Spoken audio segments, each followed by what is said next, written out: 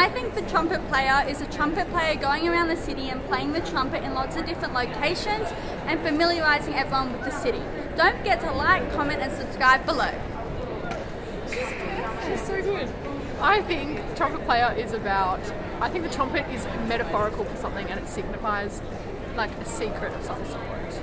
Like, comment, and share below. I think the trumpet player, sorry. I think that the trumpet player is about a man that goes around Sydney doing different shows and about his life. Like, comment, and subscribe.